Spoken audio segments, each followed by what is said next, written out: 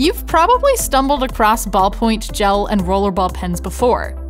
They all look similar, so what exactly are the differences between them? In this video, we'll explain exactly what distinguishes these pen types and show you some of our favorite pens in each category. If you find this guide useful, be sure to like and subscribe for more videos like this one. Let's get started. What's the difference between a ballpoint, gel, and rollerball pen? Ballpoint, gel, and rollerball pens all have one feature in common. They use a small revolving ball in the tip to dispense ink. Where they differ is how the ink is formulated. Ballpoint pens use viscous, oil-based ink. Because the ink is so thick, they require more pressure to write. While this can be tiring over long periods of time, some people find them easier to control. Ballpoint pens dry almost instantly, and are also waterproof. However, they do have a limited selection of tip sizes and colors. Gel pens use inks that have pigments suspended in a water-based gel. This particular formulation makes gel pens vibrant and precise. Very few other pens come in tip sizes as small as 0.28 millimeters. They can skip on occasion and take longer to dry. They can also be finicky when it comes to paper. Rollerball pens use liquid inks. They require even less pressure to write, so a rollerball pen can help reduce hand strain. Using a liquid ink does mean that the paper choice is important. The thin ink will bleed through lower quality papers and cause some rollerballs to feel scratchy when you write.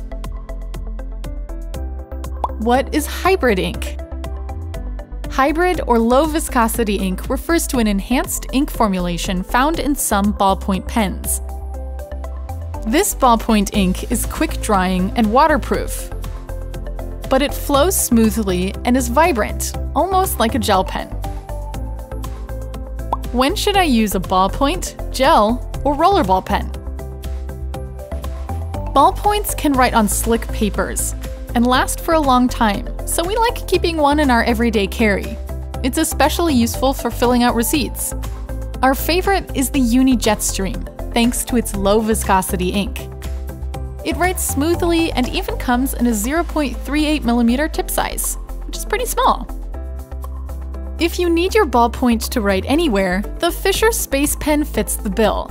It uses a pressurized refill that can write upside down, we prefer gel pens for everyday note taking. The smooth flow makes it easy to write for long periods of time, and the vast variety of colors are great for color coding. The tried and true Uniball Signo UM151 writes smoothly in any tip size. Its vibrant ink comes in a wide array of colors and is waterproof. If your plans change often, the erasable Pilot FriXion helps keep your calendar neat. The thermosensitive ink turns invisible when exposed to heat, like heat generated from friction. A rollerball is a faithful pen for those who suffer from hand cramps. The free-flowing ink prevents you from pressing down on your pen too hard. The humble Uniball Vision Elite has velvety smooth ink for an excellent writing experience. As a bonus, the ink is fraud resistant and archival. For those who love fine tips, the Morning Glory Pro Mach boasts a 0.38mm tip that's almost unheard of in rollerballs. This pen makes satisfyingly smooth lines with a hint of feedback. Which do you prefer to use? A ballpoint, gel, or rollerball pen? Let us know in the comments below. For more recommendations, check out our guide. You can shop all of these pens at jetpens.com. Thanks for watching!